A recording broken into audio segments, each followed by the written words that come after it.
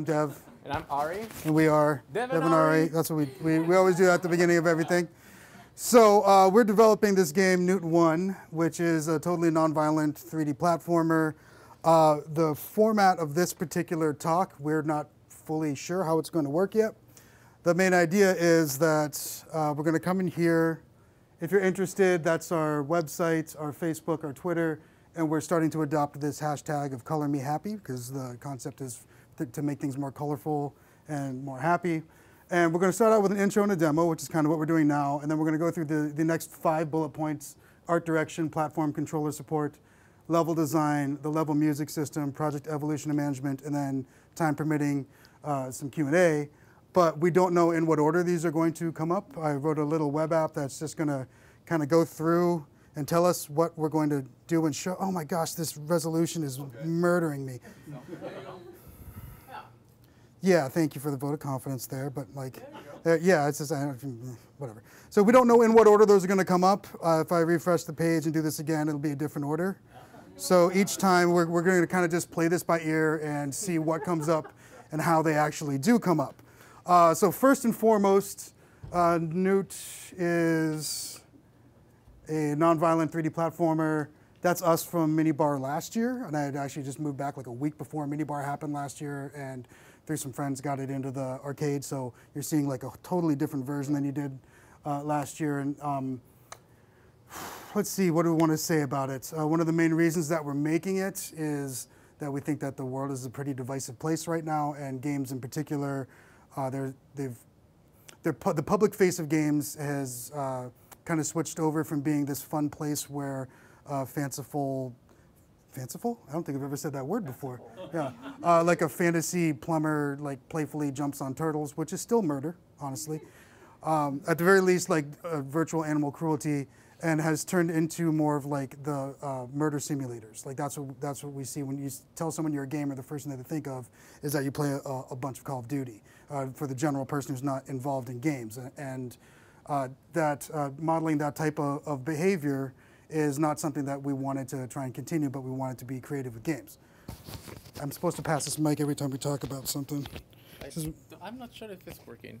They can hear us. well, well, yeah, but it's for the camera. Oh, okay, I see. So, so I'm going to ask Ari to take that, talk about why he's making the game, and then uh, we'll do a quick demo of a single level jump into. I'm, I'm making the game because you asked me that you wanted to make a game. Uh, two, two years ago, uh, actually, my, my background is more in um, art and animation. we And should uh, probably say what we do. yes, uh, I currently work as a 3D modeler over at Axonom in Eden Prairie. And uh, Dev is a just stay there. I'm a, a director of uh, instruction in the full stack development program at Prime Digital Academy. All right. And uh, two years ago, on, on January, we actually went to grad school together and we worked uh, teaching at Brown College uh, game design. And uh, that was like seven years ago. And then him and his wife moved to California. And when they moved, uh, he asked me in 2015, hey, do you want to make a game? And I was like, well, yeah, let's do it.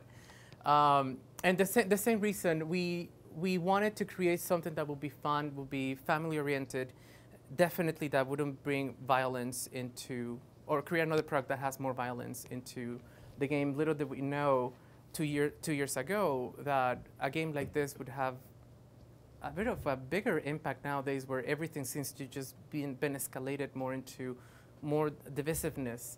So it's been an amazing two years. We are very, very close to completion of the game. And uh, the people who have played it, they seem to react very positively, uh, positive about uh, the game, and that's something that it's very rewarding for both of us. So let's get us started. So we've got uh, a demo level that we're just going to run through. Is that too loud? No, I think it's good. Um, so Dev is going to do one of our uh, demos of one of the levels that we have. All the in-game content has been completed. Uh, we have four uh, worlds. This is uh, an islands uh, world. We introduce the use of lava, so you don't want to touch it or go near it. Uh, Dev at this point is using uh, the wand. This magical wand allows you to colorize multiple things at the same time, making it easier for you to bring color and life back into the world. Um, the story of the game is that uh, there are these two characters, Newt, the main character, and uh, her friend Kurno, more of a sidekick.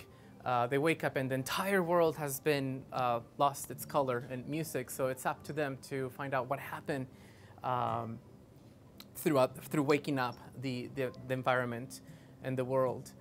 Uh, when we first started making the game two years ago, we had this idea followed by uh, like Mario Brothers and many other platformers where you would have enemies, you can jump on their heads, and then they kind of disappear, meaning you kill them. Um, we, we tried doing this, and the very first time we killed a character, uh, we feel so bad in our game. Like, terrible, terrible. We're just like, yeah, this is not a game we want to make. So we removed the killing of characters, and now these uh, characters that are around us that are asleep, uh, once you touch them, like this owl, uh, they wake up and later they actually help you uh, navigate through the world. Um, we have picked up a power up, which is called the wings. These wings allow you to uh, navigate and jump to farther away areas. Um, the point of the game is to wake up the, the world, but at the same time, players are free to explore the realm. Uh, we created this uh, mechanic called a disruptor. There's no music. There's no color. Um, these disruptors, what they do is just they, they remove all the color and all the music uh, in the world until you touch them. Uh, at that point, you are able to use your powers again. Uh, jumping on water without protection uh, just makes you respawn uh, back again on your previous uh, location. Um, lava obviously is dangerous. And we have hidden uh, parrots. These little parrots are stranded in the world. There's always one of them stranded, and these are just like the hidden secrets that you can wake up. Once you rescue one of these parrots, they become your friend and they fly with you so they don't get lost again. Let's see. Oh, nice. We have uh, different mechanics to keep the gameplay uh, going and fresh. We have rotators that allows us to create this kind of effect on platforms. Um, we removed a very important element of gameplay design, especially in platformers, the punishment of falling or dying. If you fall, you simply spawn back again and you're all good to go. There's no, no problem. You don't have that stress of, oh no, I have one, only one life and if I lose that life, I'm gonna have to start all over again. Nope, just keep playing, keep enjoying the game, uh, explore, uh, help out the world. I don't have to worry, it's okay. It's okay, we're good, yeah. We're, we're good.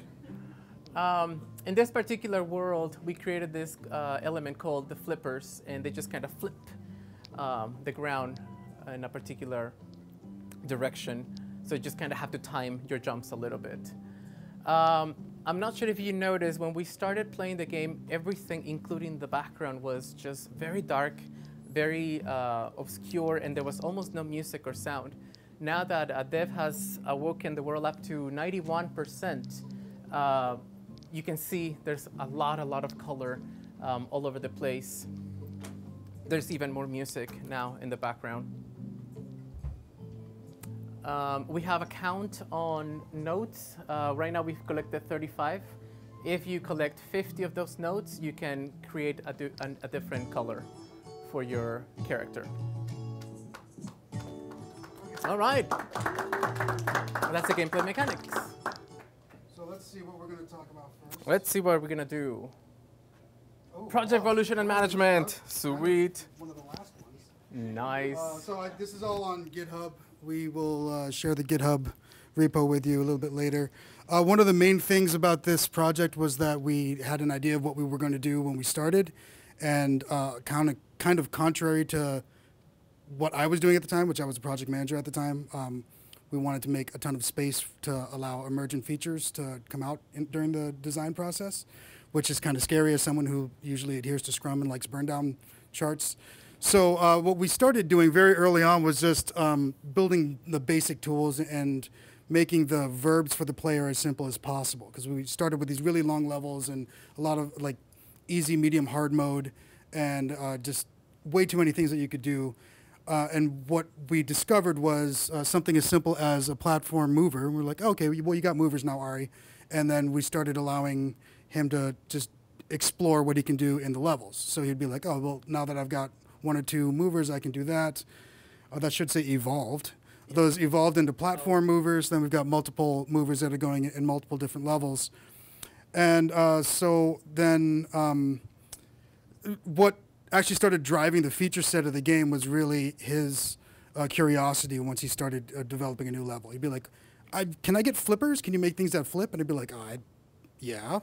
And then we would just add that. And, and uh, part of what we were trying to do with the game was have it be kind of as helpful to us and, and um, we wanted to be able to experience the game in kind of an exploratory sense and not just like we're trying to check off the check boxes to get the game done. The original game design was really generic. It actually, you can see here, we're collecting coins instead of notes. And we thought one of the coolest things about it was it was going to go from 2D to 3D, like 3D to 2.5D side scroller. And it was just a stupid game. It was just a dumb game. But that was the original plan. If we stuck to the plan, it would be. Well, you can. We, yeah, it was a stupid idea. You can call my idea stupid. It's cool. Um, and so uh, then the idea was we, will have 30 coins per level. And then that didn't really make any sense. So those became notes. And originally those notes would give you, 50 notes would give you an extra life. You can see up here, we don't even have this UI anymore. But the, the lives go from 10. When you get to 50, they go from 9 to 10. Uh, then uh, uh, at Minnebar last year, we actually got asked, why do you have, why do you even have lives? And I had no answer other than, well, that's what games do, which is just a really stupid answer um, full of bad ideas. And uh, then at TEDx Mini in last August, uh, we also had like hundreds of people play it. And what we observed was people would, would love the game, they'd enjoy it, and as soon as they died their last death, rather than even making them restart the game, we just restarted the level, just at the beginning of the level, instead of the last checkpoint. And then immediately go, oh, I loved it, that was great, and just put the controller back down and just take a step back and, and want to talk about it rather than continue to experience it. So we started working with the concept of that would give you an outfit upgrade. So now uh, you get like just a new set of clothes to wear when that happens. We looked at the disruptors. This actually started as um, we were kind of feeling stale. We wanted each uh, one of the worlds. There's four realms. We'll talk about this. We get to art direction to have something different in them, and uh, but have six levels each. And six levels started feeling kind of the same. And I was talking to my wife about uh, my wife's name is Crystal, so she came up with this kind of idea of a disruptor that would just like make you not allowed to use your powers, as you saw. So it actually started out as a crystal, and then we had a Slack conversation about it, and then um, in, in, which we, like we were just like, hey, I think this looks kind of cool. That looks kind of cool. And then like later that day, uh, I had this pretty much working, and Ari was just like, well, I've got a model, and then we just started juicing it, and then added the bubble, and then originally yeah, and then we have a disruptor, and it's now uh, it, we had to do. There, there was more emergent stuff we had to do with it, like enabling multiple disruptors in the same level. Actually, took like a week because they were so uh, duct taped together. We added the bubble, and then there are there actually still are leaderboards up somewhere. Uh, actually, this might actually work if I open this up. Let's see what happens. Oh no, that's from an old one, um, from, from, an old URL.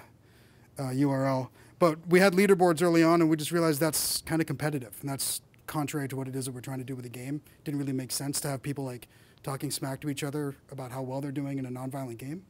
So uh, we kind of moved that out. Uh, I think Ari talked about the enemies and NPCs, and um, I'm going to try to pull this together because this is one of my favorites, and, and um, I cannot remember the gentleman's name. He's one of the art directors or creative directors at Ubisoft. He's got this concept of domains of play, and, and that's when you're um, dealing with assessing your game, you take a look at it in terms of, of two. It's just like a radar grid.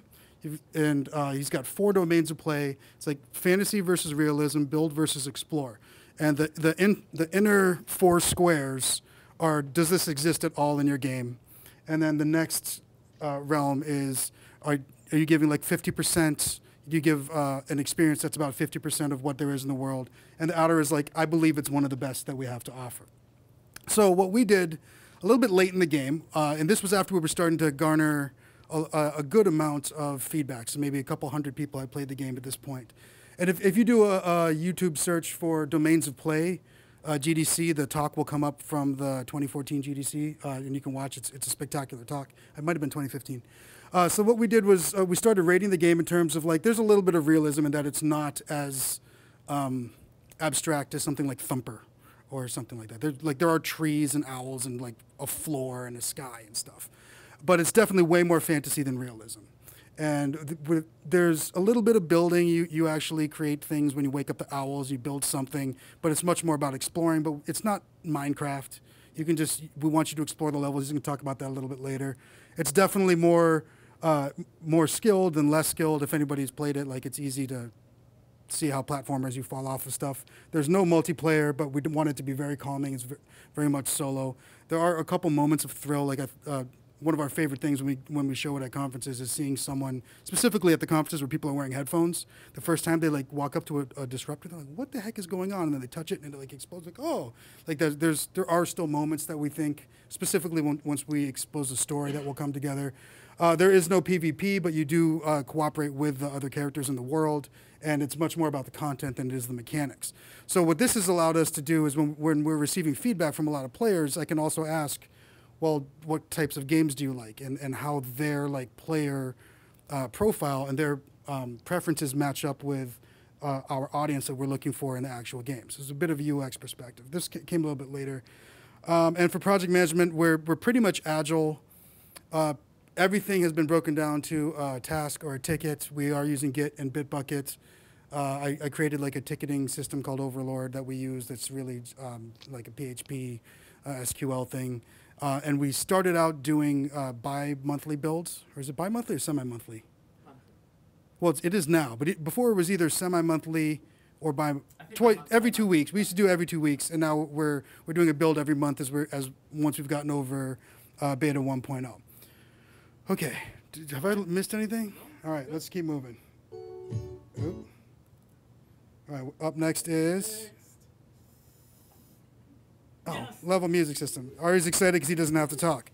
All right, so for the level music system, um, what I really uh, did for the music is, it, and you'll see it in, in this next demo, maybe a little bit more than you did in the last one, is uh, there are six uh, general layers, which are like the, the melody, harmony, bass, accompaniment, percussion, and drums for every single uh, level. And based on the percentages and, and how far you are through the percentage, the, those loops um, get uh, their volume gets changed.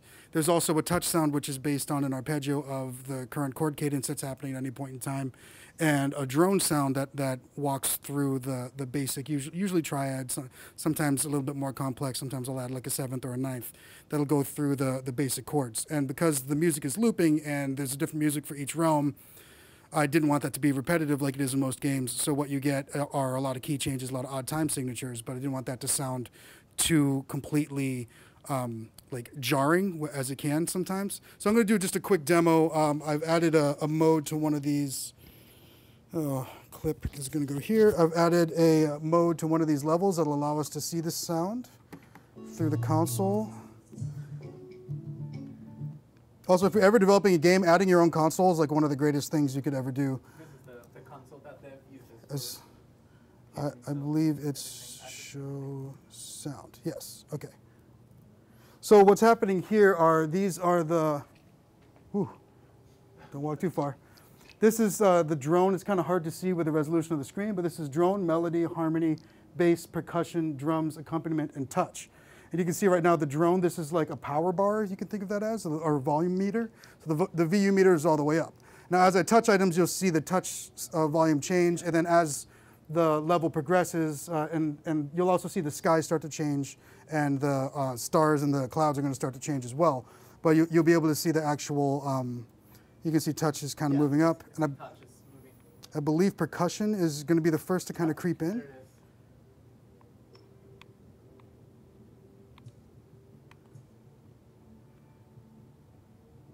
So a little bit of building there with these folks helping us out. So yeah, I can hear, definitely hear the percussion now. A little bit of the accompaniment is coming Uh, through. I, see the next one, yeah. Going up. Oh, there's the bass. Ooh, that was, a, that, that was a lot of bass in that sound here. So you can see here the, the volumes are still as high as they can be for the disruptor. The disruptor is really uh, affecting the entire output of the whole sound system, not any individual channel. I also chose this level, well, really because it's one of my favorite levels to see what Ari can do with a level. It was uh, just a really interesting level here. Uh, but yeah, we can see we're still not getting any drums. That's the last one to come in because I believe it adds the most weight. But if you take a look, harmony to come in, yeah. yeah, if, you can see a little bit better on this screen. You're starting to see the background change a little bit. Oh, I see, yeah. So one of the ways that uh, we're hoping to affect people's moods positively is through uh, not just the use of color itself, but also and music, but also a sense of progression. And uh, we've did some preliminary research, certainly not research scientists, but uh, into how that has uh, had a positive impact on a lot of people's perception of their objective reality and, and specifically their subjective uh, sense of health and happiness. So another disruptor here, and now we've got much higher. I think drums are still at zero, yeah. but we're definitely seeing a lot more sound come through. Okay. Another one of the things that uh, Dev has done with the music is that it starts very, the way I, I perceive it, it starts very low and then it just keeps growing. And yet, every level, the way it's gonna grow, it's completely different. You might start hearing in one level just the pure guitar, and it'll remain the guitar till the end of the level. And another one, you're just gonna hear the drums, and it's just gonna be the drums, but the main Oh. melody's gonna be there. So you're never gonna hear the same song twice. That's what I'm trying to say. It's always Yep. it's the same melody, the same tune, but it's just spread out every time. I, I think um, in a like a, a little more technical way of saying it is the the percentage to which each of these um, channels is affected by the um, the progression is actually randomized at the beginning of a level, if that makes sense. So sometimes percussion percussion always comes in first, drums always comes in last, but it might be accompaniment that comes in before guitar the next time you play it because we've got the same same music for all six levels in each realm. Okay, I'm gonna just get a little bit farther. So hopefully we can hear some drums because we're not quite there. Yeah, they're starting to come in, but but hopefully you can see now how much the uh, the world itself has actually changed. Oh God, Ari, I forgot this was in this level. yeah, it was here. I was wondering why did you pick this? Oh jeez, Dark Souls ain't nothing got nothing on this. that's that'll be on the, like the back of the box. Crap. This isn't even the hard one. The hard one of this is on the ice world, which is the exact same thing, but it's slippery. Yeah, I know. I felt the same way too. I was like, Ari, what the heck? All right, I think Uh, we're. most of the levels on the uh, we'll talk about the, the, the level design, but the levels start very calm, very soothing, and then just to give people the ability to have choice, we have some of the more difficult levels towards the end of the game. Okay, so that's the level music system. Up next, level Oh, design. design! Oh, look at that! And I'll take this guy. Thank you. Um, so I've been working, uh, or uh, I've been in charge of level design, and first, um, actually, like you can go to the next inspirations slide. Uh, the inspirations that I got for this, for creating the levels, uh, obviously was uh, Super Mario 64. Uh, some of the colors in Little Big Planet were amazing. Uh, the puzzle solving from Dual Hearts, Trine, um, and if anybody has played de Blob or de Blob 2, in this particular game, it's about this creature that walks around colorizing the entire world. That's all black and white. So we have borrowed elements from different genres and games to create what we have in Newt 1. And of course, we have the mighty Sarape. Um, the Sarape has a lot of gradients, but um, I don't think we can see them right now. But if you see one of these uh, throws, the gradient is created by creating lines of color. So you basically have these lines, straight lines of color throughout uh, the, the cloth, and that's what creates the gradient. Because we were going with a, a theme of music, I wanted to create, um, what do you call it in the music sheet? It's the staff of the music sheet that has the five lines, and that's where the notes are. But I didn't want to make it that obvious for people to see it, so I went with the whole idea like, you know, the Sarapi has the lines, and that allows me to do gradients, which then we can use on the background of the sky. So the process for level design is very simple. I start with just drawing where I want uh, people to go through. We use Unity to create uh, the paths. We test it out. And basically, we just get feedback from play testers and we make adjustments to the levels. We have uh, four realms or worlds. The forest level, which or world, uh, it's the one that we have out, outside. We have the entire forest world outside, and it's used to teach players how to navigate through the game. We have the ice world. Everything is very slippery. Um, the Sky World, which uh, they've played on the last demo with the music, everything is very nighttime, very jazzy. And we have the Islands World, which they've played at the beginning of um, the demo.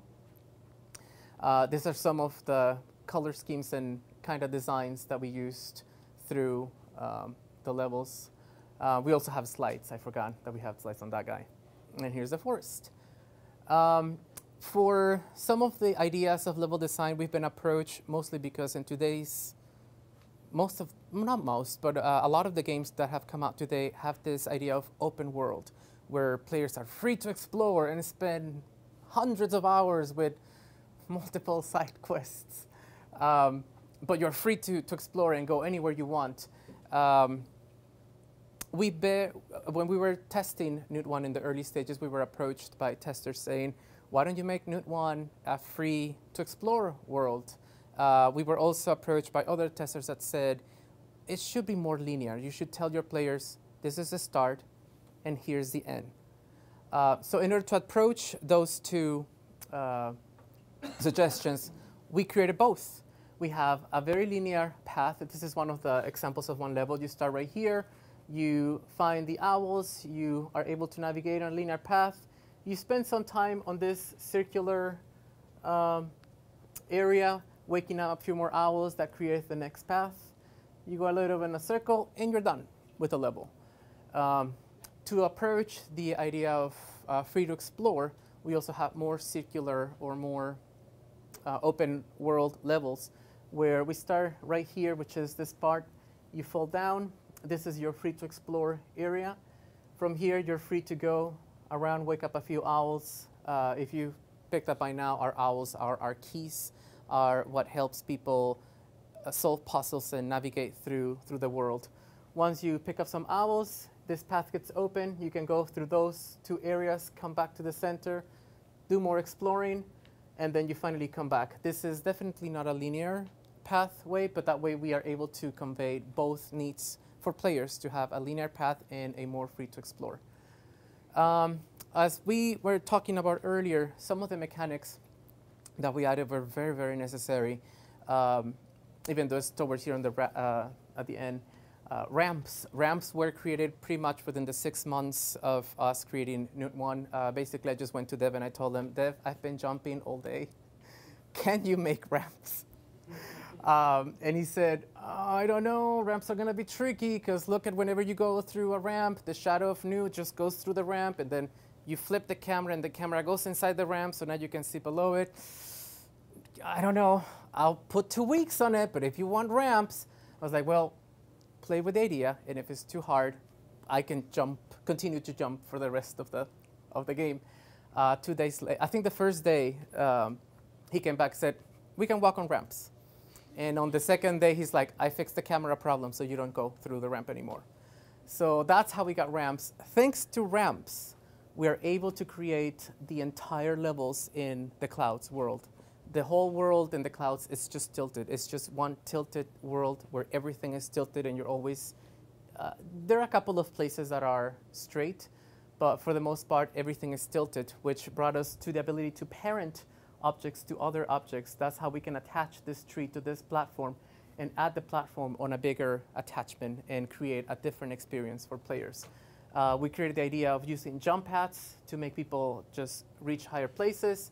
Uh, we reduced a lot of our mechanics. Slides and fans are exactly the same thing. They look completely different. On a slide, you just basically go down. On a fan, you jump on the fan, and then just it carries you up.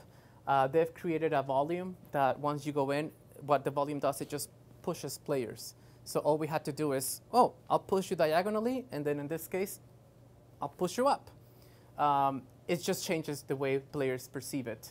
Uh, wobblers just basically make the floor move a little bit. Scale outs that just pop as you walk in, and then you get another platform. You walk in, and then you get another platform. Um, we have our disruptors and our movers that also we have already been seeing what they do. And I always, from year one, I wanted pendulums. I don't know why, I just wanted to have a pendulum in there. So finally, on Islands, which this was the last world that we created, I asked Dev, I want to have pendulums. Can we do it? And he's like, sure. So we finally have pendulums, and we, you actually saw these guys on the first level that he played. Uh, we have flippers that just basically flip the ground. To all, thanks to all of these abilities, we our mechanics, we have been able to create 24 levels and make you jump and climb through ramps and not feel like you're doing the same thing 24 times in a row. Next. We only have two more. So All right, we're almost there. Yes. For art direction, um, the way we created uh, some of the, I, sometimes people ask us like, so how do you, we know you're using Unity, which is the programming uh, uh, software that you use to make the game, but what other assets do you use? Um, I create everything, all the objects of the platforms, trees, characters, uh, in a program called Maya. Uh, what you do in Maya, basically, I start with a simple sketch. Uh, you spend some hours creating the model in Maya. Then uh, we basically unwrap this model into a flat version of the model. I don't know if you imagine the movie The Mask from a long time ago, where Jim Carrey takes finally the mask out and it kind of flattens out the. That's the process of unwrapping. They basically flatten out the shape of a 3D object into a flat screen. And that's what the flat screen that we use to add color to create where the eyes are going to be, where the body is going to be, where the colors for the thighs are going to be, and everything else that's going to be on the, on the model. Uh, using this technique, we were able to uh, create different outfits. Uh, at the time, the need for outfits was not necessary, but we had a power up called uh, Freeze, and we were using uh, Newt's hat to display the power up, but it wasn't a very visible uh, thing for the players. So we decided to create different outfits and move the power up over to something that's around her. So whenever she just freezes something, it just becomes a more visual cue for players to know, oh, I do have a power up. It's not that my hat just changed color, it's an actual tangible thing. Um, the first one, which is her main outfit, uh, has very vibrant colors um, that I borrow from a few other characters, like uh, Orko from Masters of the Universe, that has a very kind of darkish, bluish, uh, red colors and green colors. Uh, this is more of a combination of an African hat mixed with uh, Chinese. Um, I don't know what would you call this. Hmm? Yeah, bloom.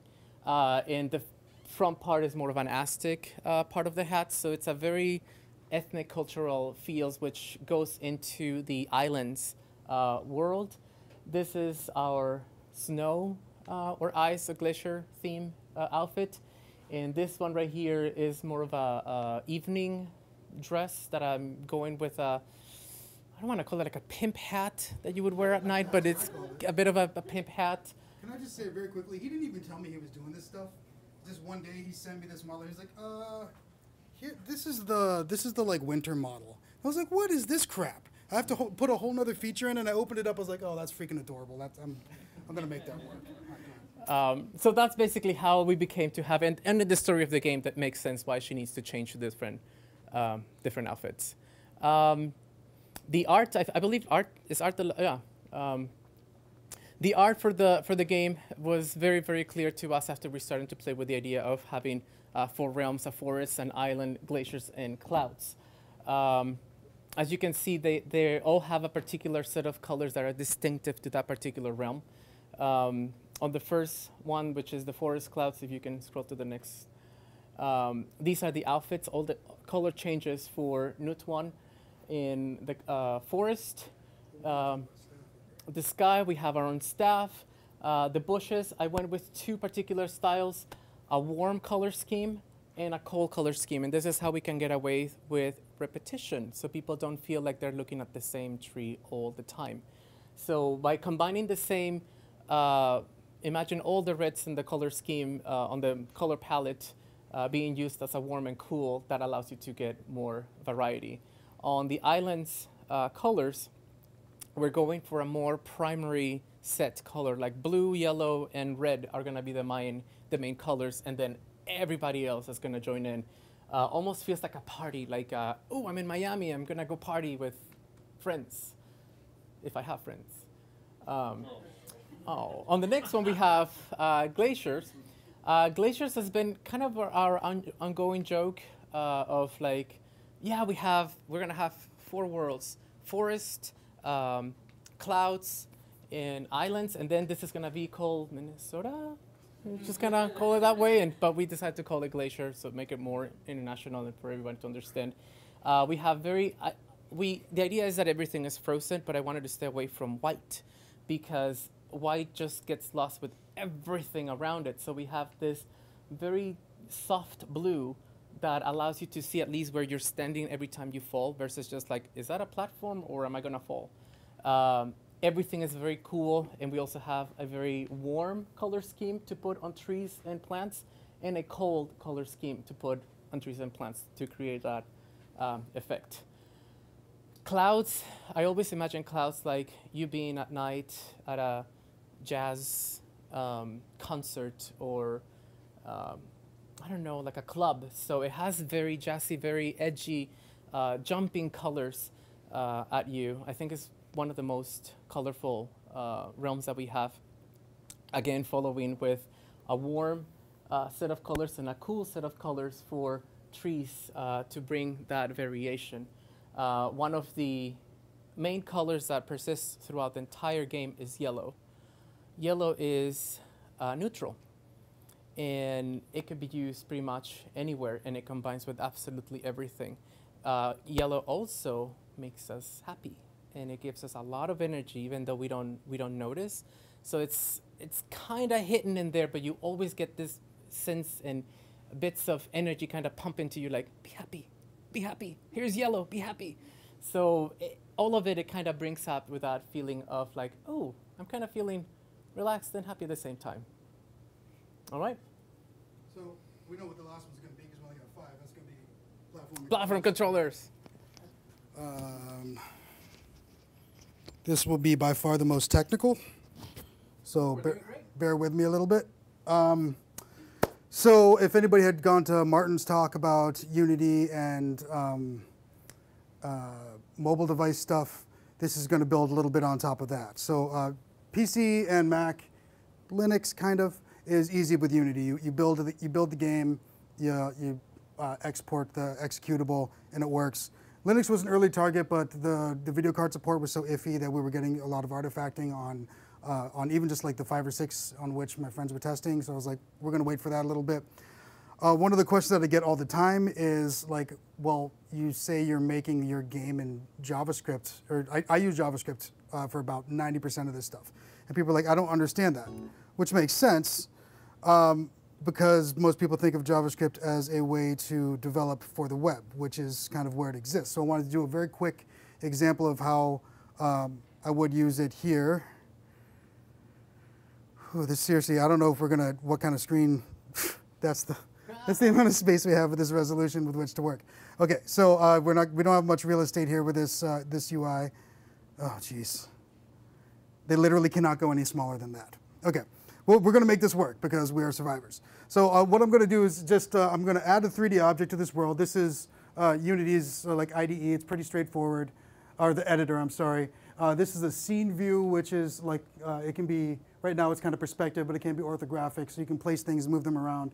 And then there's a game view, which has like a little Pac-Man next to it. So I'm just going to put in a, a cube. And there's our little cube, and we can see here in the inspector, I've got its position, its rotation, its scale, so I, I can manipulate those pretty easily. I'm going to set it back um, to the origin.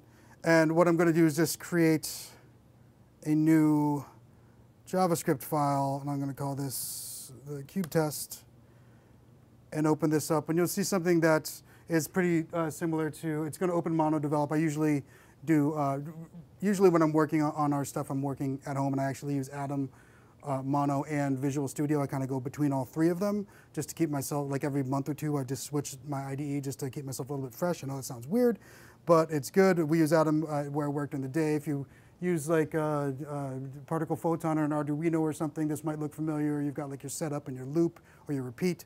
Uh, all I'm going to do here is I'm just going to listen um, for a key and rotate the cube.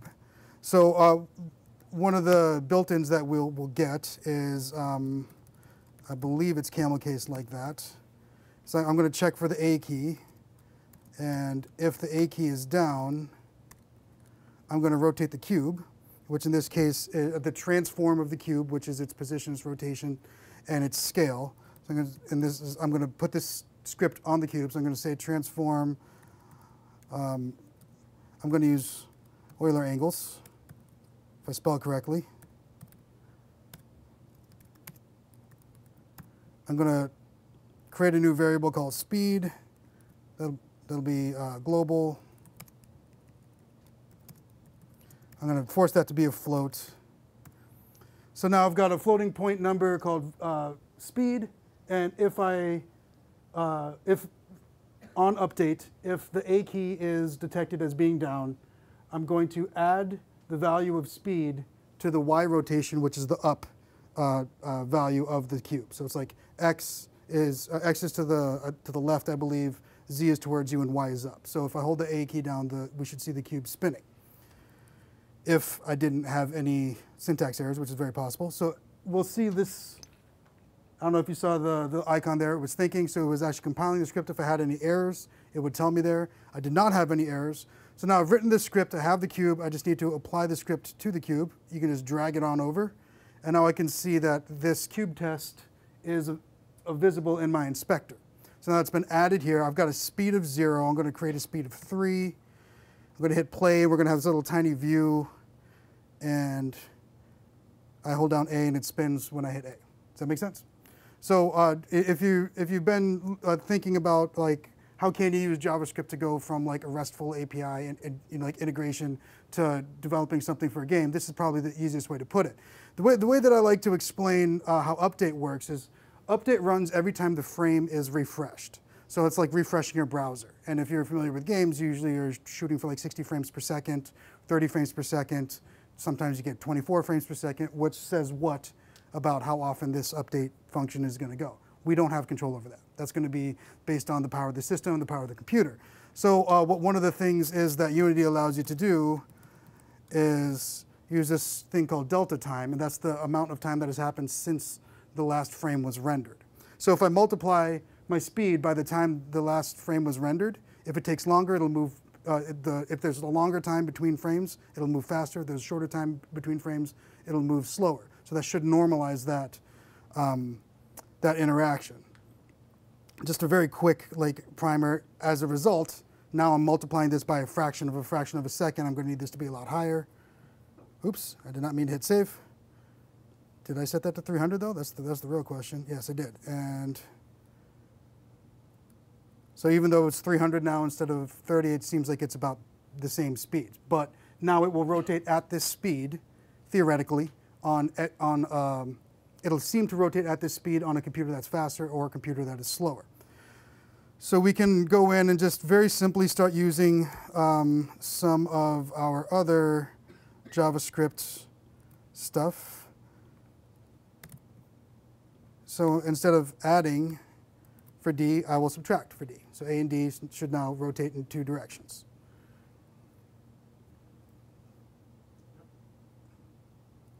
So now I can go in two directions. Pretty straightforward. I just wanted to, to give a practical example of that. For some reason, that's like a, a leap that's very difficult to make uh, for a lot of people uh, conceptually. Don't save useless garbage. Um, same with you. All right, so if we go back to here, now, these are all the, this is my desk at home. Uh, these are all of the currently supported um, controllers in the game.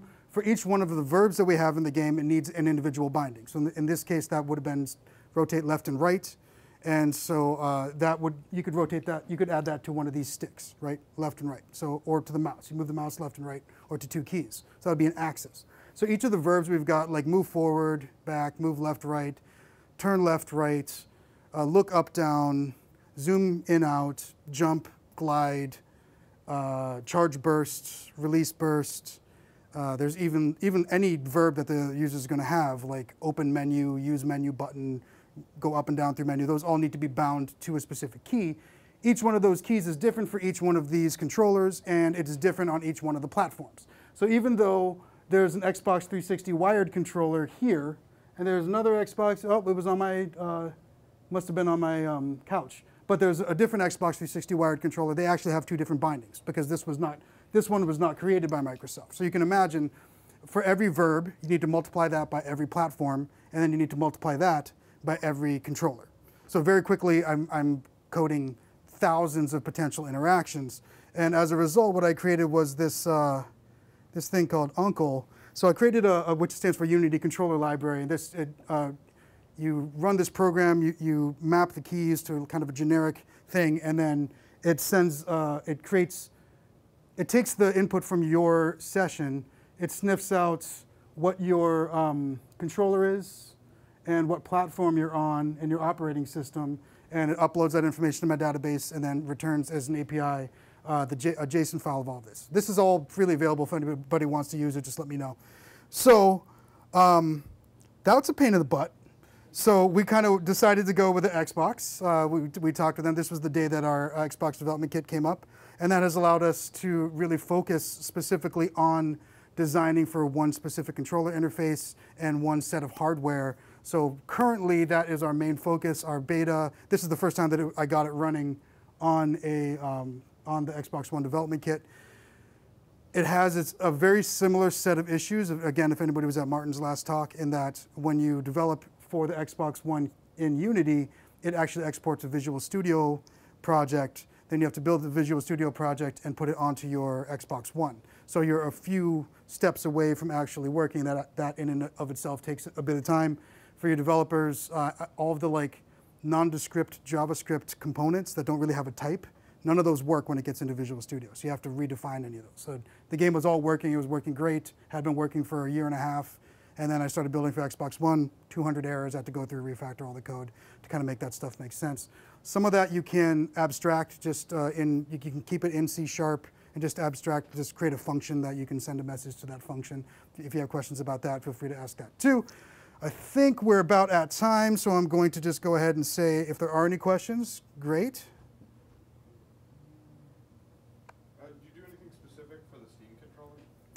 Uh, yeah, the Steam controller was a monster actually, and I haven't actually touched it. I don't even know if it still works, honestly, because I had the. Thanks for asking, because I hated I hated working with the Steam controller, because uh, I tried to get the like the grippy things to work, and they never actually registered. So I'm I'm just using like it as if it's an Xbox controller. But yeah, um, thanks for asking, because that was like Unity 5.3, and we're at like 5.5 now. It was like a year ago.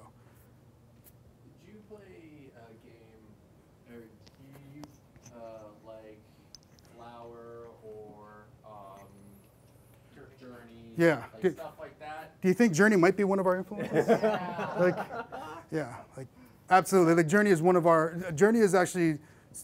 Uh, I, I consider Journey the current answer for like is game art. Like I, I feel comfortable giving Journey to anybody and having them play it, and they will come out with that. He was so insistent that I play Journey because I was Xbox 360 in the last generation on PS4 now that he actually made me borrow his PS3 and Journey. Like he just he delivered it to me one day. He was like, "You're going to take this and you're going to enjoy it." And he was absolutely right. It was, it, it, yeah, one of the best. Um, I think we'll start there and just kind of scoop around. Does targeting Xbox specifically allow you to get away with doing less stuff like with the deltas or you know um, abstract hardware optimization versus like specific hardware optimization? It would if if we weren't also planning on releasing on Xbox, or Xbox on uh, PC and Mac. Like one of the things where we're technically developing a universal Windows application. So when it releases on Xbone, it'll also release on Windows. So we, it, we could, if we wanted to be like a platform, if we were important enough and rich enough to be like a platform, you know, a killer app, then yeah, we could, but we're not. Well, what sort of backgrounds did both of you have before you got into games? Um, um, I did um, film, 3D animation, and 3D models in the background, like before, I guess. Uh, so we went to grad school together, and we both have MFAs in 3D animation. Uh, it's an MFA, so that was when I realized that I my undergraduate's in comp sci. That was when I realized that like I am not an artist. Was when I was around, surrounded by people like him. So on this game, uh, like I do the high level game design and programming and sound, and he does all the art and level design. So um, we've the fact that we've known each other now for like 13 years or something like that helps in, in terms of like I'll forgive him when he tells me that my stuff sucks, and then I recognize that it's true, and he knows to be patient with me when I say I can't do that. But um, yeah, my background was it was really in kind of hard computers, and then and then um, it was about 12 years ago that we were in grad school, and at that time games weren't they didn't look like they do now. The PS2 era, I was still like, I'm pre-rendered is where it's at. Pixar is what I what I want to do, and then things really started coming together in about 2005 with the previous console generation. Was there? I think there was one more. Yes. Yeah, did you, uh, you guys have prior experience with, uh, more violent games? So, kind of have yeah. Uh, so I've always tried to be nonviolent, and I actually worked on this, the 2010 Stargate video game, and like was able to use enough cognitive dissonance to tell myself that that was even though you're like people shooting people with machine guns, that it was people shooting aliens, and that wasn't really where I wanted to go. Um, and one of the things we pride ourselves on with this game is it's one of the only games I can think of right now that rewards you for how much life you bring to the world, not how much life you take from it. And that, in and of itself, we think is like a different type of focus. Do you have any answer to that? The same. Cool. Uh, oh, yeah, Joey. Yeah, so, um, and maybe I just don't understand this, but by having, uh, I think you said this is on GitHub, correct? Uh, it's on Bitbucket. It's, it's on Bitbucket, so it's uh, it's a private repo on Bitbucket. Like, yeah, Okay. yeah. So my question was basically gonna be around like, um, would there be any appetite you would have for like, people to do mods, maybe even something as simple as changing the background song or something like that? Eventually, potentially, Well, huh? That was like a person- little rap. Good, yeah. Uh, but the the I think the weirdest thing about that would be that the the sound system is so complex that doing something like that might might break it, and then people would think that it was a bug. Uh, there is some pretty low hanging fruit in terms of like. Uh, maybe publishing those UV unwraps and having people make their own outfits or something eventually. Oh, that'd be kinda You know, because that's why people like a lot of their games. This is also inherently a single player game, so it's not like you're going to be running around with your outfit in someone else's world showing it off. So we're not really sure how that's going to fit in. This is also our first like kind of big release, but I think we're out of time. So no, no. All right. I- Was there? Was it? Yeah. What was the biggest piece of uh, criticism that basically changed the way you developed your game? Life system. Yeah, the life system by far. That just completely. It, Yeah. yeah. It, yeah. Yeah, there's, there's, there's like there's no doubt, and just watching people, we were sure that we had a game that people enjoyed, uh, who who fit our player profile that we were looking at at the very least, and um, we got a lot of really good feedback, and we saw people love the game and just walk away from it. Even just like rather than spawning here, they spawned there, and just feeling like you die. Actually, one of the biggest changes was when you die now and you respawn, it used to go boom, and now it goes bling. You know, like just you just feel like, oh, I didn't die. I res- I got another chance. Like just like working on that that small bit of feeling made a huge change in user experience, and uh, like, and honestly, like I hadn't had a, a deer in headlights moment like that in years. When when um, I was asked like, well, why do you even have lives? It's like, Like, yeah. Uh, yeah, I, I have no idea. So Because I've been literate in games. Yeah, exactly. Like, you can tell. Yeah. Yeah, exactly. Because I'm used to dying. That was really the answer. Was I'm used to dying, Mon- many, many, many times. Okay, I think we'll. Uh, oh, sorry. Go ahead. Uh, who's your demographic for the game, and has that changed over the course of? Um, we right from the beginning we wanted to do family, just pretty much anybody. And once we removed uh, the live system, I think we hit that for sure. It became really like okay, now everybody can play it. Uh, we've seen kids, uh, uh, four, a five-year-old and a six-year-old that have been playing the game, and they could be stuck in one same level for 20 minutes. But the fact that they just keep trying again, and if you're just next to them, you're like, okay, let's let's do this, and they feel like, oh, I, I can I can play this. Um, Martin's daughter played it, and uh, Martin I think came to get her, and she's like, no, Daddy, I have to stay. I promised him that I was gonna save the world, and we're like. When, when did we put like the promise? Like Yeah. was that like a, like, we, I don't we never that, put, I don't yeah. we put it in, in there. So she got into, uh, and that's one of our biggest rewards I think to see the, the, the feedback that we got. So no, the the uh, target audience is still there. Can I add, add to that that um, one of the best bits of feedback we got from TEDx was that uh, there was a few people who were like, "Oh, I'd love for my spouse to play this game in front of my kid instead of, you know, all these violent games that they play." Even like racing games that have like big crashes, they were like, "I would just rather have them playing this." And it, I think it's a little bit easier to uh, give the controller to like my nephew and watch him think that he's playing while I'm playing with this game than it is for other stuff. I think we got time for maybe one more. Then it's beer time.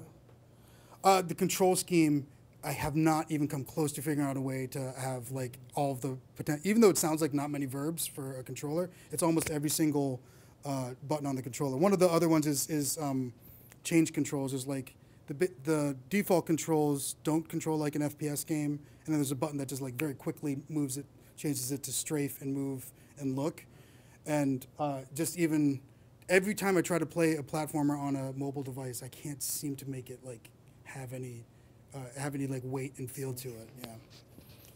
Okay, so if you got if you wanted to know any more, like come find us. You know, we're easy to find online. I I don't know how late the arcade's gonna be open, but we will be over at the happy hour stuff. Thank you. Thank you. Thank you so much.